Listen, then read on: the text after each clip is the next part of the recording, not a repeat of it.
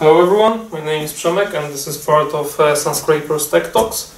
Uh, today we are going to discuss about uh, code reviews. Um, the presentation title is uh, Friendly Code Review because uh, I will uh, try to highlight why friendly code review matters. First of all, let's, let's define what is code review.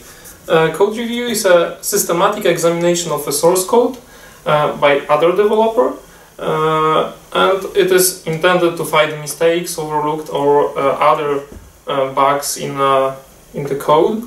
Mm. And there are many ways of doing code reviews. I pointed out here three.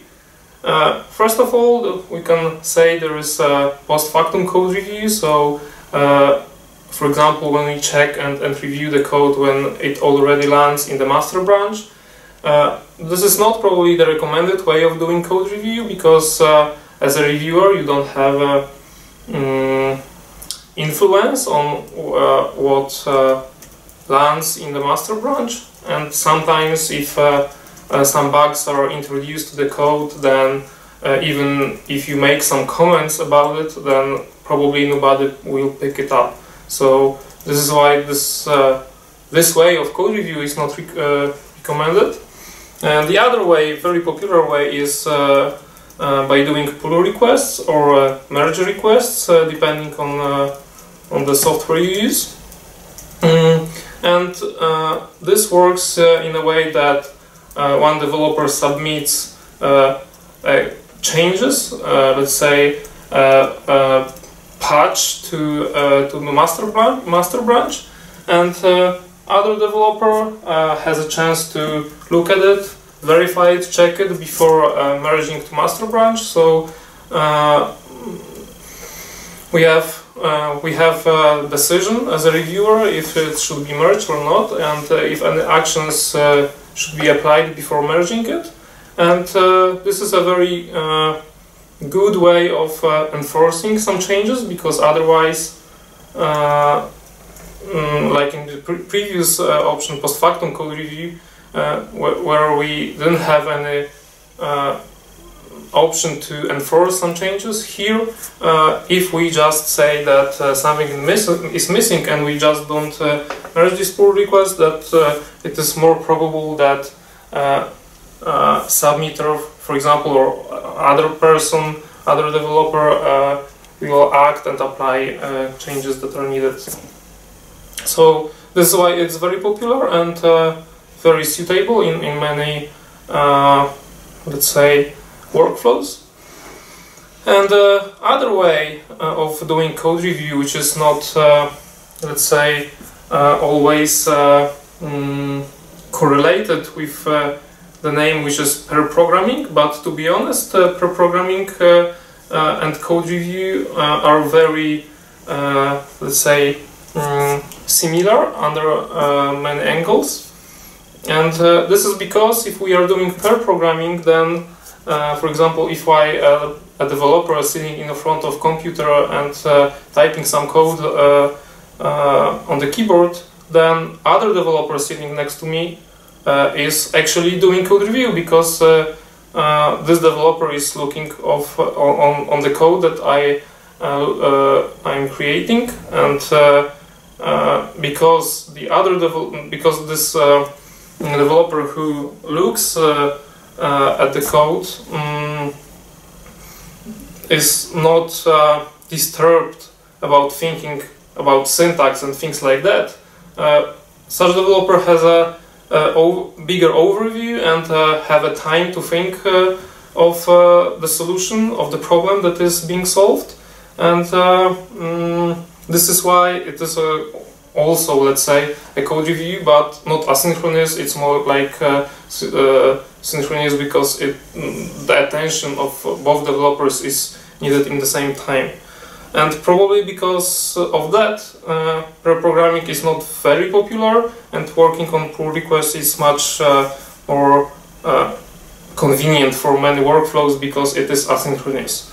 And uh, thanks to that, some developers, for example, senior developers that have um, better code, uh, code skills or coding skills or project knowledge don't have to spend time with everyone. They can do some code reviews in a, in a bulk, for example, uh, or at the time that they have finished their own work.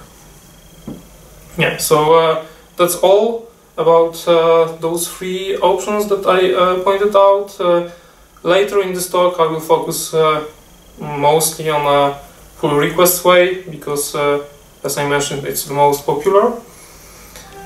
Uh, some gains I uh, gains I already mentioned uh, that that code review gives.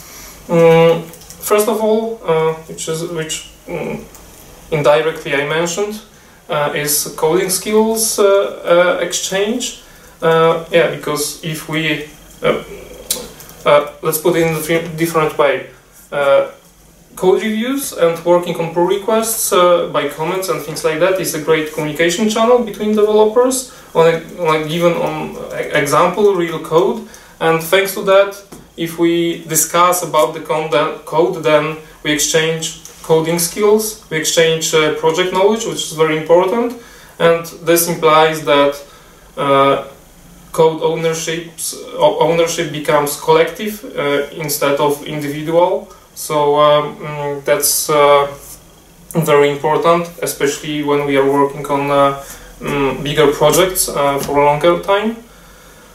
And yeah, as we defined at the very beginning what is code review. We mentioned that uh, it is intended to uh, find catch bugs and, and uh, improve the code itself, so it improve, improves quality in general. Mm, and what's more, this is a very good, uh, let's say, let's say, advantage of code review uh, that. Um, let's say newcomers to the project or junior developers can uh, be introduced quicker and they can uh, contribute faster because uh, they have their comfort zone because because of the fact that nothing is being merged to master or committed to master immediately. Um, they can feel safer they can feel more comfortable.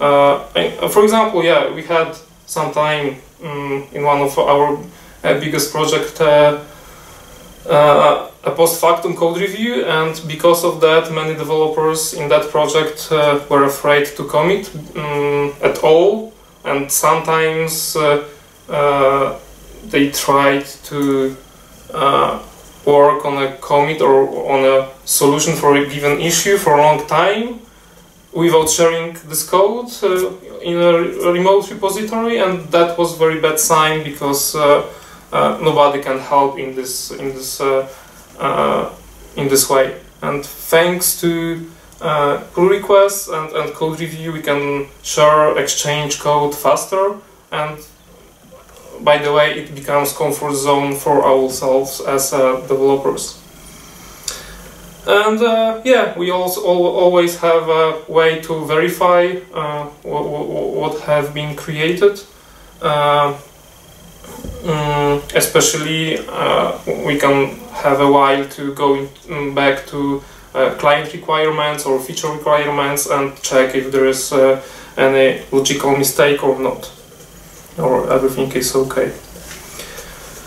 So how to do efficient code review. This is, uh, mm, I think, uh, very important uh, uh because even if we do code reviews, it's uh, not automatically uh, done in a very good way because we can always skip many um, many things by accident. So yeah, we already said that we should use pull request and uh, we mentioned that everyone, everyone can do that, but to be honest, that's uh, recommended that everyone should do that because uh, um, if one person in a team is not doing uh, code reviews, for example, then uh, this person uh, becomes, let's say, a weaker team member because his or her knowledge is not good as other developers about the project and, and things like that. So even junior developers should have uh, a chance to give code reviews because that's that's very uh, um, that's very uh, educating as well.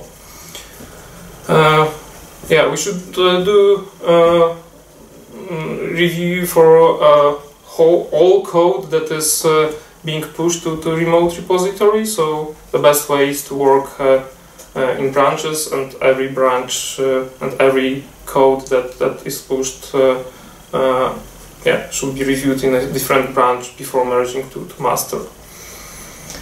Uh, what's more? Mm, I think, yeah, I, I uh, mentioned uh, in a presentation title that, uh, let's say, positive attitude is, is very important, and yeah, I will um, describe it uh, a little bit uh, further uh, later, but mm, this is yeah this is very important that we should not point out very small issues in an aggressive way or something like that because uh, uh, we should focus on building uh, a team and yeah I mean uh, yeah, let's talk about that later. I have a slide about that. Mm. And yeah, uh, when we are doing code reviews, uh, it's easy to skip some things uh, and, for example, focus on syntax instead of uh, uh, semantic meaning of, of the code. And I, I really recommend leave syntax checking for tools and linters. for example, for tests and things like um, flakes or PEP8 in, in Python world. Uh, and uh, as a code reviewer, we should fo focus more on uh, logic, semantic, and uh, things that cannot be ch uh, checked by computers and tools uh, in a very easy way. So um, we should verify if, if the feature, for example, is um, coded correctly. Yeah. Okay, and uh, what we can advise for uh, submitters. So before even uh, reviewer pick up uh, the, uh, the, uh, pull request for review, then as a submitter, I can take care that everything is mm, okay on my side. And I think that that's very important because mm, if we have some respect for other team members, then we should take care that whatever we push to remote repository is uh, uh, the best quality we can provide. Because otherwise, uh, if we do, I know, obvious typos or, or, things like that, that it can mean uh, uh, that we don't yeah, respect others, we don't respect other others' time, or I know, we don't like our job, something like that. So, uh, what are advices for submitters? Mm, I think that that's very very important before even you create a commit before even committing something in uh, your local repository. It's very important to just uh, uh, check your diff uh, before that. Uh, you can find I don't know prints, commented code, or whatever which is not important. Uh, or if we did you know very easy mistake, it's better to be aware of that before committing. And once we committed the code and once we are going to prepare a pull request, then we should have a checklist for, and uh, yeah, I will prepare uh, example check checklist uh, later on, but uh, for example, we should mm, take care that all tests uh, that were previously created pass and, and things like that. Yeah, as a submitters, we should take care that the diff and, and cone changes are short because uh, otherwise the pull, pull request uh, um, is going uh, to be uh, very difficult to review for reviewer and it increases the time to, to close this pull request, merge it or whatever. So the shorter that shorter the pull, pull request we create, the better. And to uh, stick to this rule, it's very recommended to, for example, uh, keep refactors in uh, separate branches or separate pull requests. then we mm, yeah create for features or bug fixes or other other things. Uh, and uh, there are other two parts very important uh, when we create pull requests. We should take care that we um, put there also context of our changes, so we link everything that is needed to understand uh, for the reviewer uh, what this change fixes, for example. Yeah, so we should link uh, an issue number or related other tasks or issues, or uh, if there were some, I know, previous similar pull requests, we should uh, link them as well. So we should put as much context uh, uh, as it makes sense to, to understand uh, what the pull request is about.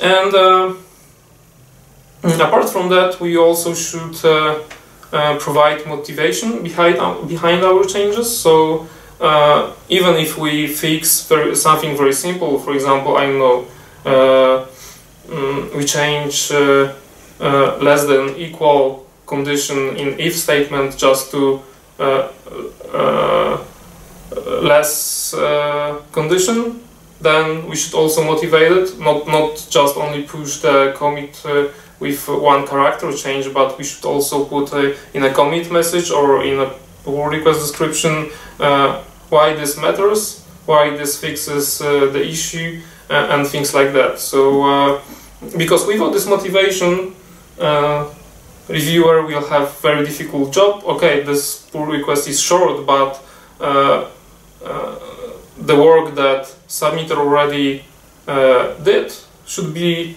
to be honest, uh, recreated by the reviewer because there is no uh, clue why uh, why those why this solution really works. So yeah, again, respect your uh, team's member uh, team member time and uh, yeah provide even one sentence why is that? And yeah there are some advices for reviewers. Again it's good to have a checklist what we are going to look at it could be very long, but uh, the more practice you have, uh, uh, the better because um, in different projects there are different different um, workflows, let's say, and you need to pay attention to different details. But uh, I mean, the longer you work in a, in a given team, in a given project, the easier uh, it is to, to stick to a given checklist or, or uh, just proceed with uh, code reviews. again, as a when I was talking about submitters, we, we were trying to uh, uh, keep uh, changes short, but uh, if we are reviewers, we need to take care that we do code reviews often, so uh, we have uh, we don't have to go through tons of code, for example, every week. It's, it is better to do I don't know one or two pull requests every day and shorten the cycle of uh, closing and merging pull requests. Uh, so in that case, we just limit uh, the work in progress and, and um, it makes the whole process, development process more fluent, I would say. Yeah, and uh, if we are re reviewers, then it doesn't mean that we really have to find uh, issues in every pull request. It's sometimes just okay to say, uh, okay, everything looks good and, and uh, that's it, because uh, there is no point to uh, mm, enforce any changes in the code that actually is, is good. Uh, so we don't have to be, I know, super strict about uh, everything, just just uh, uh just for reasons. Um, it is very good to prize others for well done solutions. Uh, I mean, it's very motivating for submitters. Uh, and uh, even if everything is okay and everything works, uh, it's sometimes good to express that and and uh, put a comment. Oh, that's that's great job, and then merge it instead of just merging it because in in it gives motivation to our our colleagues. And uh, what's more. Um, uh, yeah, it, as I mentioned previously, it's very uh, important to give constructive uh, feedback in a clear way and, and in a friendly way. way. Uh, thanks to that, we uh, we are becoming team players instead of uh, being jerk, for example. Uh, so nobody is afraid to create pull requests, and that's very important. And nobody is afraid to pick up code reviews. And yeah, as I mentioned, that shorten Mm, delivery process and, and uh, uh, the workflow is fluent. Mm, yeah, and yeah, let's make some fun sometimes and then just put uh, some funny gifs or whatever. Uh, if the code is good or if the code is not that good, we can put uh, gifs like that.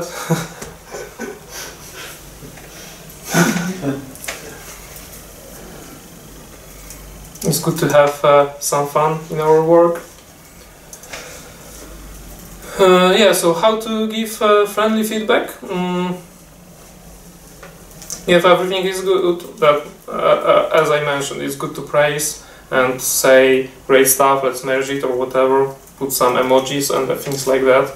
Uh, if something is not working, for example, then we have many different ways to say that, but it's always good to mention that uh, mm, for example, it looks good or everything goes good direction, but something is wrong. Yeah. Uh, why is that? Because probably uh, other uh, developer or our colleague uh, put a lot of offer, uh, effort into into given pull request. Even if the changes or, or diff is short, it doesn't mean there is no effort. Sometimes, yeah, it takes ages to just uh, find a very simple bug and even if it's not perfect it's good to uh, mention that yeah it, it, was actually good job um, again why is that it motivates uh, sometimes if we have a, different point of view on a given I don't know uh, on a given um, practice uh, then if we provide friendly feedback and uh, yeah we praise for the solution but uh, we describe our point of view. In that way, it is more much easier to persuade other team members to, to our point of view. Uh, yeah, and thanks to friendly feedback, we built uh, a great culture and atmosphere in our team and, and the company. And if we show that uh, we care, because if we are friendly, that we rather care, care, I would say, then we make others care. So uh, that's very important uh, to, to build that culture. And uh, at the end of my presentation, I put some example checklist. It's not that long, but probably it could be longer. Mm, yeah, so for a submitter, we can check if uh, tests pass, linter pass, and things uh, other our tools. Uh, yeah, just have green light.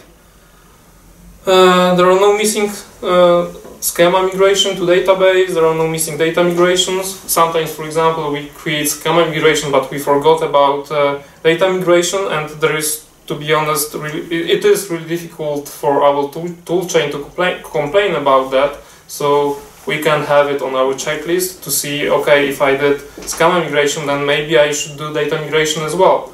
So uh, um, it is good always to have it uh, on a checklist or in your mind. Um, it is good to check if we have all translations.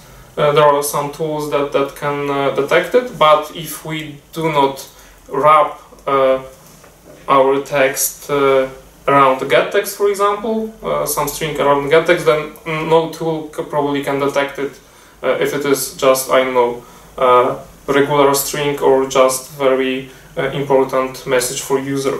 So again, it's good to go through strings in, in our changes and uh, make sure that um, everything uh, is covered by, by translations.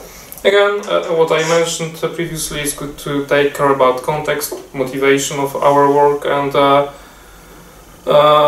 for example, if we tried many solutions or, or we even we thought about different solution for a given issue, it is very important to mention it in a pull request description or, or in a commit message, and that could be very helpful for for a reviewer uh, because otherwise, if we don't uh, um, attach such message or such uh, description of our uh, approaches or possible approaches, then uh, reviewer is not even uh, is not even uh, mm, let's say sure that we even thought about such approach, approaches and maybe uh, reviewer will start thinking about that and will start experimenting with other approaching approaches.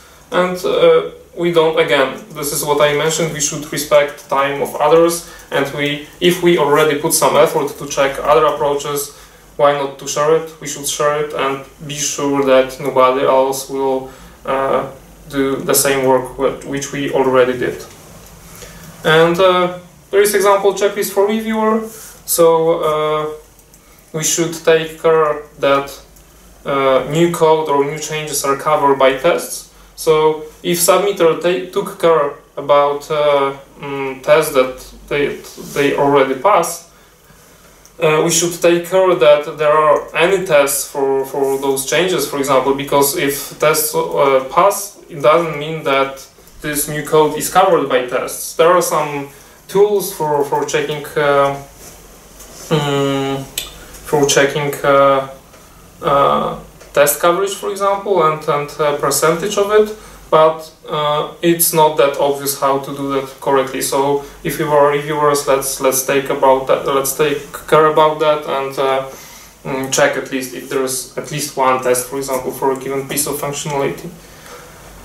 Uh, yeah, we can check if there is no commented out code uh, because um, there is no value probably in that, uh, and uh, if by accident there is some um, commented code then we can uh, mention it uh, and, and ask for deletion.